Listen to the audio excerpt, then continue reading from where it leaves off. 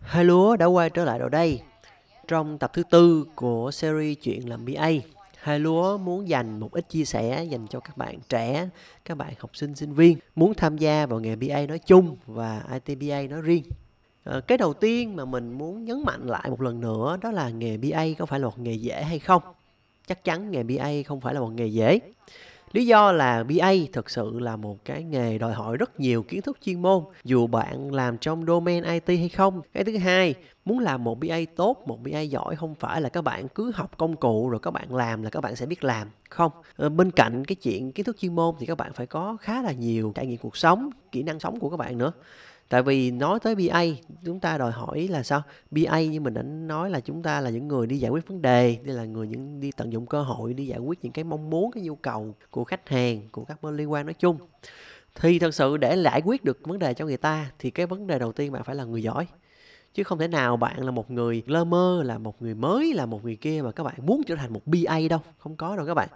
Cả BA dù là domain IT hay domain nào đi chăng nữa thì để được gọi là một BA các bạn phải là một người giỏi, là một người cũng gọi là uyên bác, biết rất là nhiều thứ, có rất là nhiều trải nghiệm cuộc đời. Cho nên là thực sự các bạn sinh viên mới ra trường, các bạn không thể nào được gọi là BA đâu. Cái đó chỉ là cái chức danh title gọi vậy thôi. Chứ thực sự các bạn không được gọi là BA đâu, các bạn cũng không có đủ đẳng cấp, không có đủ trình độ để lúc đó để gọi là BA đâu. Chúng ta phải đòi hỏi rất nhiều sự rèn luyện. Thì lúc đó các bạn mới trở thành một BA được rồi cuối cùng là một một BA nó hỏi cái tính logic, cái tính xử lý cũng rất là cao. Chúng ta không thể nào, kiểu, mà ngang ngược, không thể nào mà, kiểu, thích làm gì thì làm, không thể nào mà à, muốn làm gì thì làm, thì chúng ta có thể trở thành BA được không có? Chúng ta phải rất là logic, rất là chặt chẽ. Chúng ta làm BA là chúng ta đưa ra giải pháp thì nó phải chặt chẽ, rõ ràng, cụ thể và giải quyết được vấn đề cho người ta quay lại vấn đề thì học sinh sinh viên, người trẻ có nên làm BA hay không? Thì mình đã nói cho các bạn là các bạn ở thời điểm đó, các bạn không thể nào được gọi là BA được. Các bạn chỉ có thể là tiếp cận vào nghề để có thể phát triển đi lên mà thôi. Thì cái việc đầu tiên mà các bạn ờ, cần phải quan tâm đó là các bạn muốn làm dạng BA nào? Các bạn muốn làm IT BA hay là các bạn muốn làm non IT BA cái công việc của bắt đầu, có thể bắt đầu của ITBA có thể là các bạn làm trong những lĩnh vực phát triển phần mềm, các bạn làm sale IT hoặc là các bạn mang, làm cái công việc liên quan tới delivery, mang tính triển khai phần mềm, mang tính triển khai hệ thống, hướng dẫn, sử dụng cho người dùng. Non IT thì chúng ta có sale marketing, chúng ta có các công việc ờ, theo chuyên môn, theo từng ngành nghề. Lợi điểm của những cái ờ, ngành nghề này đó là, thứ nhất là IT thì thật sự đây là một trong những cái hướng đi khá là dễ tiếp cận hiện nay tại vì nhu cầu khá là cao. Nhu cầu về chuyển đổi số, nhu cầu về phát triển sản phẩm số khá là cao, dẫn tới là các bạn dễ tiếp cận hơn về cái lĩnh vực ITBA ngoài ra thì đối với ATBA mà các bạn làm môi trường outsource thì các bạn có thể tiếp xúc rất khá là nhiều domain khác nhau. Các bạn làm nhiều dự án, các bạn làm nhiều dự, cho các cái đối tượng khách hàng khác nhau, thì các bạn sẽ có cơ hội tiếp xúc với nhiều domain khác nhau, tiếp xúc với nhiều người. Trong tương lai thì các bạn có thể chuyên sâu vào một domain nếu như các bạn làm product các bạn làm product nó sẽ giúp cho các bạn chuyên sâu về một mảng nào đó, chuyên sâu về một lĩnh vực nào đó. Về non IT thì thật sự non IT uh, những cái công việc này các bạn thấy nó cũng là một cái điểm bắt đầu. Các bạn làm đúng chuyên môn của các bạn. Từ đó các bạn học hỏi sâu về chuyên môn trau dồi sâu về chuyên môn và cũng như gia tăng những cái trải nghiệm đúng ngành nghề trải nghiệm chuyên sâu về một ngành nghề nào đó. Đó cũng là một cái lợi điểm khác biệt đối với các bạn IT tại vì các bạn IT nhiều khi người ta tiếp xúc nhiều nhưng mà người ta không chuyên sâu và người ta cũng không nắm vững được những cái nghiệp vụ khác nhau nhưng mà bạn non IT thì các bạn có một cái lợi điểm rất lớn đó là các bạn có thể trau dồi rất là chuyên sâu rất là kỹ càng về mặt nghiệp vụ. À, cái nào cũng có cái mặt trái mặt lợi thôi. Thử thách đầu tiên nhưng mà đã nói cho các bạn là IT đôi khi các bạn làm rất là nhiều nhưng mà các bạn không sâu các bạn chỉ sơ sơ bề ngoài thôi dẫn tới các bạn không nhiều kiến thức chuyên sâu các bạn không có nhiều kiến thức chuyên môn. Cũng như là công việc kỹ thuật mà đôi khi nó có phần khô khan và cứng nhắc nó cũng ảnh hưởng khá là nhiều về các phương pháp về cái cách làm việc của các bạn. Về non IT thì ờ, đôi khi á, thật sự non IT nó cũng không phải là đơn giản cho các bạn học sinh sinh viên trẻ nếu muốn phát triển lên cho các công việc như là tư vấn chiến lược. Tại vì sao? Các bạn muốn tư vấn các bạn muốn làm chiến lược vân vân thì các bạn phải giỏi chứ. Bạn dở thì sao bạn tư vấn cho người ta? Bạn ờ, không có nhiều kinh nghiệm, không có nhiều trải nghiệm, không có nhiều cái dự án thành công. Nhấn mạnh cái chữ thành công, các bạn phải làm nhiều điều thành công, có nhiều thành tích thì các bạn có thể tư vấn được.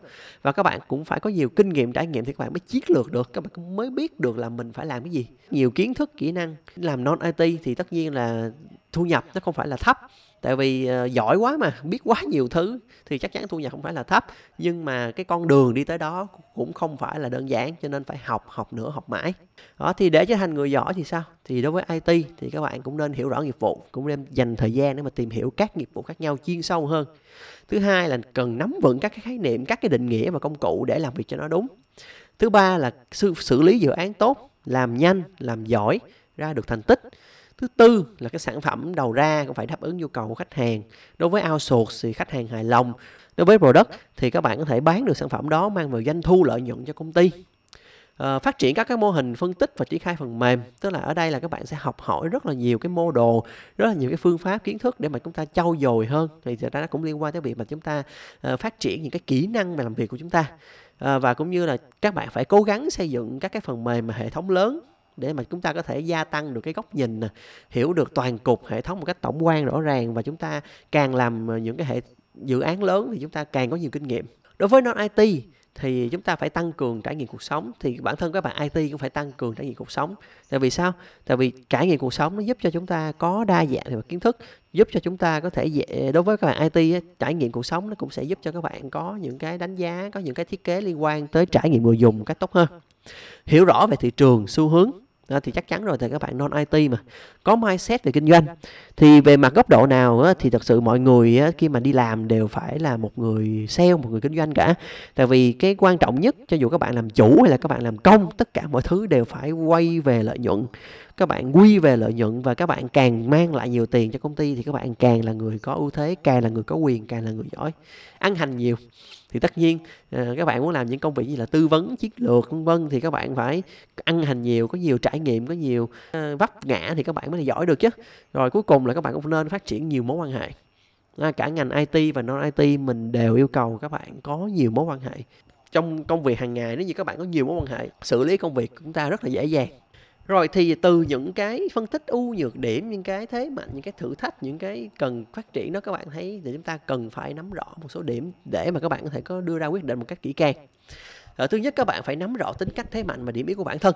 Các bạn đừng bao giờ mà kiểu phong trào thấy là BA hay TBA đang một cái ngành nghề hot một cái hot trend vân vân thì các bạn lại cứ ào ào vào mà các bạn không nhìn nhận lại bản thân chúng ta tính cách như thế nào điểm mạnh, điểm yếu bản thân như thế nào, có có thể đáp ứng được cái nhu cầu của nghề BA nói chung hoặc là IT BA nói riêng hay không. Chúng ta phải nắm rõ tính cách, thế mạnh của bản thân. Các bạn trẻ thật sự mình thấy rất là yếu, các bạn cứ ào ào, các bạn cứ theo tin tức bề ngoài, các bạn không có bất kỳ một cái gì đó nó rõ ràng. Các bạn không có đánh giá được bản thân mình như thế nào đây là một cái điểm yếu rất, rất lớn của các bạn trẻ hiện nay. Thứ hai các bạn phải xác định được ngành nghề của mình là muốn làm ở ngành gì ví dụ ngành ngân hàng ngành tài chính ngành chứng khoán ngành cây xây dựng ngành y tế ngành nhà hàng khách sạn vân vân. Chúng ta phải biết cái ngành nghề của chúng ta là cái gì cái đam mê của chúng ta là cái gì chứ. Các bạn làm việc mà các bạn không có happy thì làm sao các bạn làm được? Các bạn đừng có nghĩ lương cao là được không có đâu các bạn. Có thể các bạn thấy là công việc này nó ok uh, chịu đựng vậy lương cao lương ok. Nhưng thứ nhất các bạn nên hiểu, bạn là người trẻ. Bạn không thể nào có lương cao được hết á. Rất hiếm. Từ, trừ phi và ở trong quá trình các bạn làm sinh viên các bạn có thành tích gì một cách nổi bật.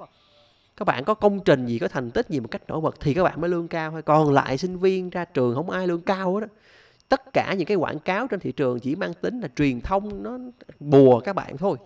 Chứ không có bao giờ có ai trả lương mấy nghìn đô cho các bạn là BA đâu. Đây các bạn rất lưu ý chỗ này. Cho nên là đừng bao giờ quan tâm lương tại vì uh, lương thứ nhất là các bạn ở mức độ đó thì chỉ lương chỉ nhiêu đó thôi thì cái quan trọng nhất là các bạn có đam mê nó hay không có cái ngành nghề đó có phù hợp với bạn hay không.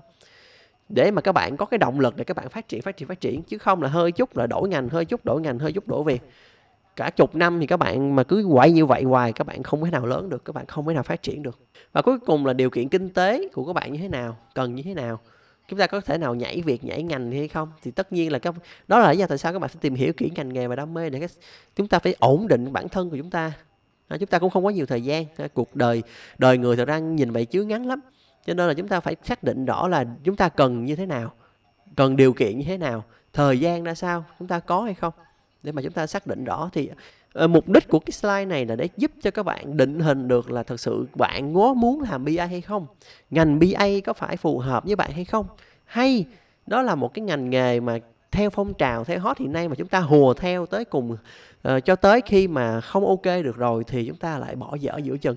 Chúng ta mất bao nhiêu thời gian tiền của tiền bạc. Rồi ok nếu như bạn chọn nghề BA nếu như bạn chọn nghề BA thì chúng ta sẽ trau dồi phát triển những cái điểm gì? Ở các cái video khác ở các series khác mình cũng đã nói rất nhiều về kiến thức kỹ năng rồi nên đây thì mình sẽ nói những cái góc độ về mặt tinh thần. Đầu tiên là chúng ta phải học tập đúng cách sai là các bạn chết. Thật sự hiện nay á các bạn học theo kiểu là mì ăn liền rất là nhiều. Quan trọng á, khi mà các bạn học á cái vấn đề không phải là khóa học dài hay ngắn. Khóa học dài hay ngắn không có ý nghĩa gì hết. Nếu như khóa học nó dạy không đúng cái quan trọng nhất là các bạn cần phải tìm hiểu là cái khóa học đó nó có phù hợp với bạn hay không đầu tiên là chọn nghề nè. À, cái có học nghề. À, có thể là các bạn phải học dài như là học đại học học ngắn để mà các bạn trau dồi ở một cái mảng nào đó. Cái vấn đề đầu tiên là các bạn phải xác định rõ cái khóa học đó có phù hợp với bạn hay không. Rồi cái thứ hai đó là khóa học nó có dạy đúng hay không định nghĩa đúng hay không hay là nó mang tính là theo cái kinh nghiệm theo cái cảm tính của người dạy. Có rất nhiều khóa học như vậy các bạn dù là khóa học ở trường đại học hay là cái khóa học ở ngoài. Cái thứ ba đó là khi mà các bạn học thì các bạn nên hiểu là ở đây chúng ta là học để đi làm, chứ không phải học là để thi cử rồi lên lớp. Cho nên là dẫn tới là cái thái độ học của các bạn á, nó phải chủ động, nó phải tự học rất là nhiều. Các bạn không thể nào mà kiểu một người kêu cầm tay chỉ việc cho các bạn chỉ rõ như vậy. Cầm tay chỉ việc ở góc độ này chỉ mang tính là học vẹt thôi.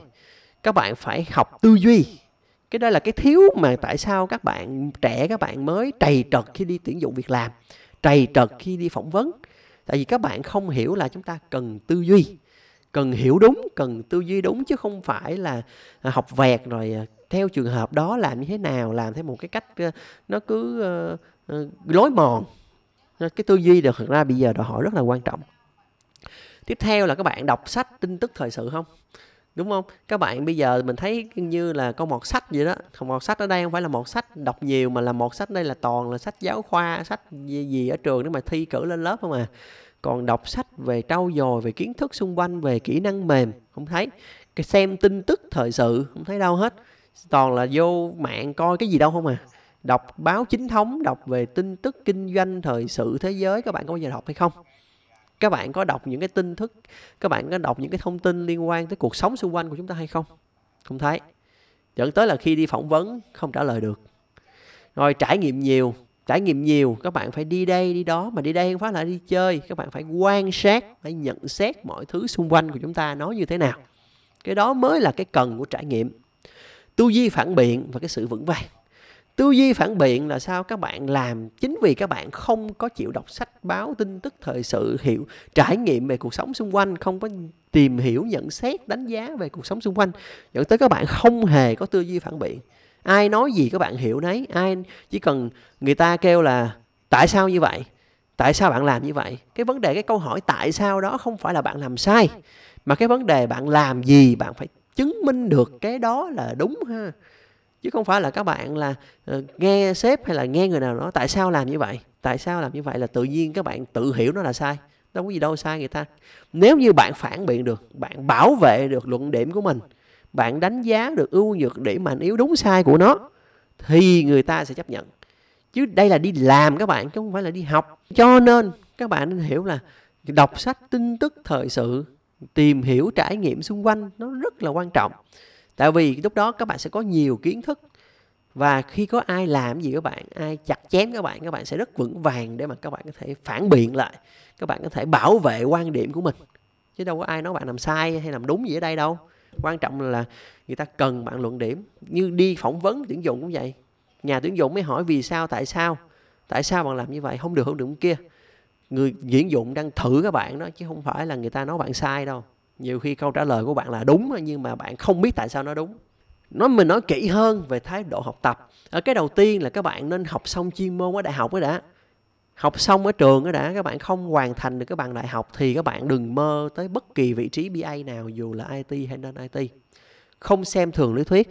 Mình thấy các bạn trẻ bây giờ cực kỳ xem thường lý thuyết. Rất là mong muốn là học cái gì là chỉ viết xài công cụ rồi vô bấm nút nữa chạy ra rồi cũng như là làm mô tả, làm phân tích rất là yếu, tại vì đâu có học lý thuyết đâu. Chỉ biết xài công cụ mà, đâu có kiến thức, đâu có kỹ năng gì đâu mà có thể phân tích được. Các bạn rất là xem thường lý thuyết, đây là một cái thái độ cực kỳ sai lầm khi các bạn học tập. Phân biệt rõ khái niệm định nghĩa thì nó xuất phát từ các bạn không học lý thuyết, dẫn tới là các bạn không rõ khái niệm định nghĩa rồi. Công cụ này, công cụ kia, các bạn hiểu sai rồi. Thực tế làm việc, các bạn cũng không hiểu các khái niệm liên quan với nhau, khác nhau như thế nào. Thứ tư là không bó hẹp trong suy nghĩ nên các bạn là quen cái kiểu luyện thi đại học tức là dạng toán A phải giải theo kiểu A, dạng toán B phải giải theo kiểu B, dạng hóa lý C phải giải theo kiểu C. Dẫn tới là các bạn rất là bó hẹp trong cách làm, trong cách suy nghĩ của mình và nó dẫn tới một cái ù lì khi mà các bạn đi làm. Không học kiểu tuyển thi đại học như mình đã nói và cuối cùng là không nói về học hành chúng ta không có được học theo kiểu list Nói các bạn không được học theo kiểu list, thử học theo kiểu list nó sẽ cho cuộc đời các bạn nó chỉ là bó hẹp nó bó hẹp cái suy nghĩ của các bạn nó bó hẹp cái góc nhìn của các bạn. Chúng ta đừng bao giờ học theo kiểu list. List tuyển dụng. Không mình sẽ có một video clip khác về làm sao để trả lời câu hỏi tuyển dụng. À, tất nhiên mình không mình không thể nào đảm bảo 100% là bạn sẽ đậu à, tại vì nó phụ thuộc rất là nhiều yếu tố khác. Nhưng mà các câu hỏi tuyển dụng thường gặp đối với thi tuyển dụng BA chắc chắn là fail chắc chắn là rớt tuyển dụng tại vì chắc chắn bị tủ đề. Rồi tiếp theo trao đổi và tìm hiểu với người có chuyên môn tốt. Chúng ta phải rất là phân biệt đúng sai ở đây chúng ta phải rất là phân biệt đúng sai ở đây, tại vì ờ, rất là nhiều người, các bạn sẽ thấy là họ có thể là tạo một cái vẻ bề ngoài rất là ghê gớm, rất là nguy hiểm, nhưng mà thực sự họ không có gì hết. Cho nên bản thân khi trao đổi với người có chuyên môn tốt, các bạn cũng phải lựa người mà trao đổi. Và cái cuối cùng là thật lòng và không giả tạo. Thật sự là có rất nhiều bạn học hành mà cứ cái gì cũng dạ dạ dạ dạ vâng em hiểu dạ vâng em hiểu. Các bạn giả tạo như vậy là cái gì trong trường hợp mà các bạn không hiểu? Khi mà chúng ta làm như vậy á các bạn chính là người hại các bạn. Nếu như các bạn hiểu ok thì sao? Dễ dễ lắm. Nếu như hiểu ok thì các bạn chỉ cần uh, theo em thưa thầy thưa cô theo em hiểu là như vậy. Đúng hay sai?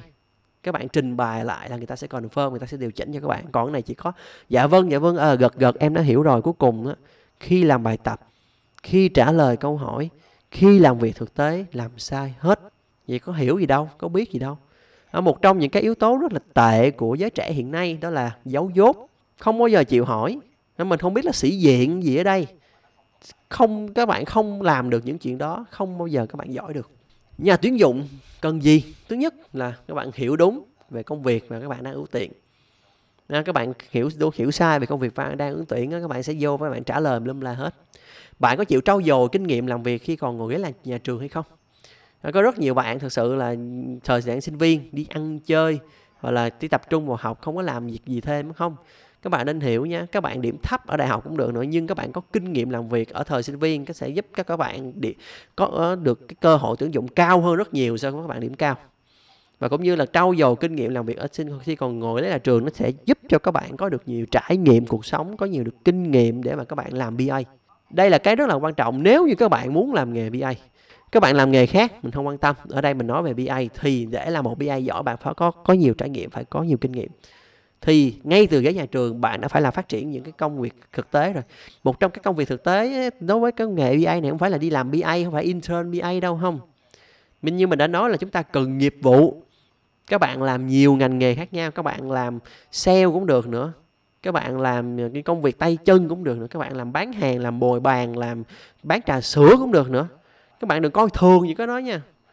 Những cái đó nó giúp cho các bạn có những góc nhìn về cuộc sống, có những góc nhìn thực tế mà cũng như là có rất là hiểu về khách hàng. Đó là những cái rất quan trọng chứ không phải các bạn làm intern BA có khả năng xử lý tình huống ở mức cơ bản thì các bạn không đi làm, không quan tâm thời sự, không gì hết thì chắc chắn các bạn sẽ không thể nào xử lý tình huống được. Lưu ý nhé. Kế hoạch rõ ràng cho tương lai. Các bạn phải có kế hoạch cho mình trong ngắn hạn là làm gì, trong dài hạn là cái gì dài hạn thì hơi quá tại vì thật ra cuộc đời nó đưa đẩy cũng nhiều lắm nhưng ở góc độ nhà tuyển dụng thực sự như bản thân mình mình cần một người có hiểu biết về nghề nè có kế hoạch tương lai một hai năm thôi một hai năm ba năm là được. Ha, không cần cái chục năm đâu không ai làm nổi đâu bản thân ờ, mình cũng chẳng làm nổi đâu. Cho nên là cái kế hoạch tương lai cho rõ ràng phù hợp và cũng như là đừng có những cái thái độ không tốt khi mà phỏng vấn khi mà trao đổi số bằng cấp bạn là cái gì? Không ta thiệt nha. Giờ bạn có Harvard chăng nữa chẳng ảnh hưởng gì tới cái quyết định là uh, tuyển dụng bạn hay không. Tại vì bạn có trả lời được câu hỏi bạn có xử lý được đáp ứng nhu cầu của người ta hay không. Uh, ảo tưởng sức mạnh là một trong những cái mà giới trẻ hiện nay cực kỳ nhiều. Uh, và tương lai xa vời trên trời dưới đất. Và bản thân các bạn nên hiểu biết người biết ta chứ không phải là các bạn đừng có show mình là uh, điểm 9 chấm trở lên tôi học ngoại thương hay cái gì đó. Không chẳng ý nghĩa gì hết á. Bạn vẫn rất phỏng vấn như thường à những cái đó nó chẳng giúp ích gì cho bạn hết, cho nên đừng bao giờ có những cái thái độ không tốt đối với nhà tuyển dụng cái đó nó làm cho nhà tuyển dụng thể hiện cho bạn là sao? Rớt ngay từ vòng gửi xe. Và ngoài ra có rất là nhiều bạn là show bằng cấp em đã học khóa học này, khóa học kia. Nhưng mà khi mà hỏi những câu hỏi liên quan tới những cái nội dung đó thì không biết. Hoặc là trả lời sai. Tại vì sao? Quay lại hồi nãy, chúng ta không học rõ định nghĩa khái niệm, chúng ta không hiểu rõ về nghề. Mà chúng ta show bằng cấp ra để làm cái gì? Số bằng cấp các bạn càng bị soi hơn. À, thì để thành công nói chung thì mình đưa ra một số điểm. Thứ nhất tìm hiểu cho đúng về bi. à, trên mạng bây giờ thật sự rất là tùm lum tà la rất là nhiều kiểu. À, có nhiều người đúng là có thể là có họ có nhiều kinh nghiệm đó nhưng thực sự nhiều khi họ ngược hiểu cũng sai nữa. Nhiều khi họ hiểu cũng sai và định nghĩa sai nữa dẫn tới dẫn dắt cho các bạn sai luôn bản thân mình nói ở đây cũng các bạn cũng đừng tin ngay. Các bạn hãy coi bạn đối chiếu những cái thông tin mà nói với các thông tin trên mạng Google này kia coi nó như thế nào nó sự khác biệt là sao?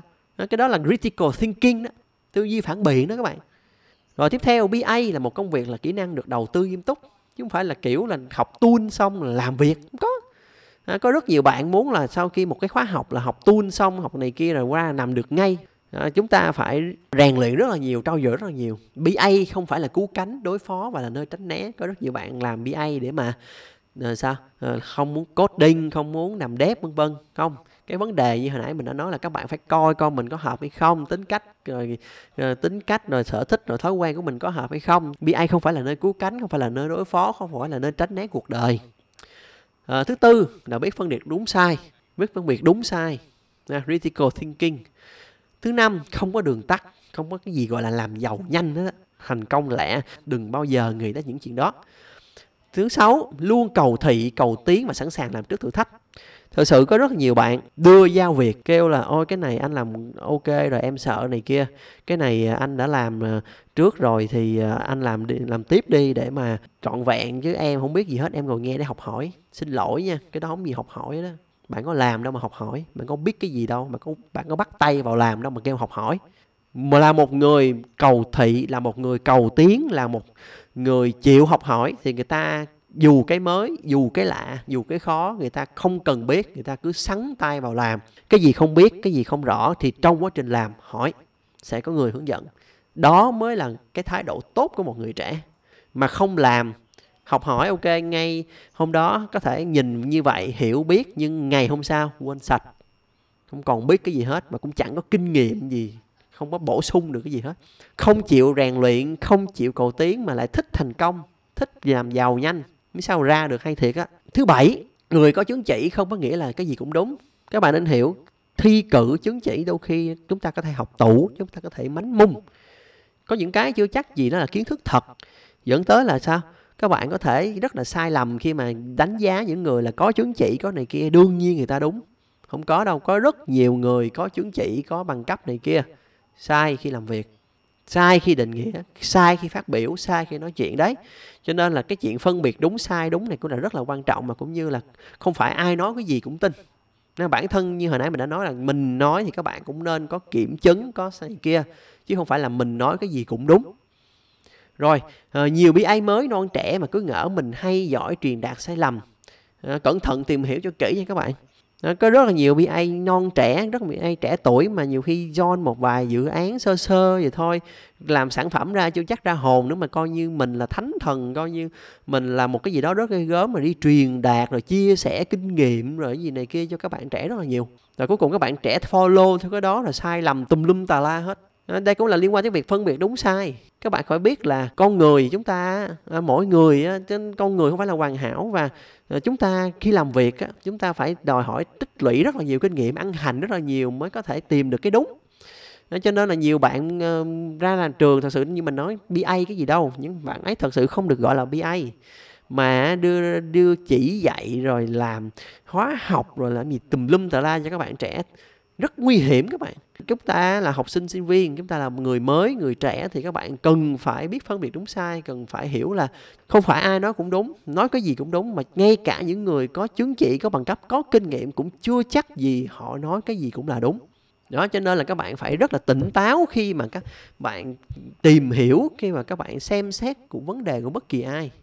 Một trong những bí quyết thành công mà mình chia sẻ đối với các bạn trẻ đó là keep it simple, stupid. Làm điều gì cũng suy nghĩ đơn giản đây là một trong những cái mà các bạn sẽ thấy là sao? Ờ, các bạn trẻ, chuyên gia bị. Tại vì sao? Các bạn nghĩ cái gì cũng phức tạp vậy cái gì cứ trên trời. Các bạn nên hiểu người lớn tuổi, người có kinh nghiệm thật sự họ không có dùng cái gì cao siêu hết á. Họ không có bí quyết, không có cách làm, không có gì cao siêu hết. Hoặc là trong ITBA họ cũng chẳng dùng công cụ gì, gọi là, cao siêu hoặc là dữ dội hết. Bản thân mình, trong suốt hơn 10 năm, mình dùng có nhiều đó công cụ à. Nhưng mà sao? Cái khác biệt của người có kinh nghiệm và những người trẻ là cái gì? Nội lực.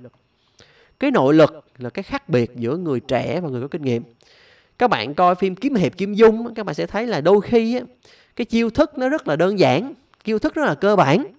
Các bạn có thể xem phim thiên long bắc bộ cái đoạn mà hòa thượng hư trúc đánh với kuma trí ở trên ờ, núi thiếu lâm á. Các bạn sẽ thấy là ờ, hư trúc chỉ sử dụng la hán quyền thôi, là một cái võ công nhập môn của thiếu lâm thôi. Nhưng cái nội lực của hư trúc rất là mạnh. Dẫn tới là người ta dùng những cái gì rất là đơn giản nhưng mà vẫn áp đảo. Ở thực tế nó như thế nào? Nó thực tế là nội lực là cái gì? Nội lực nó là kinh nghiệm, là kiến thức, là trải nghiệm, là ăn hành nhiều.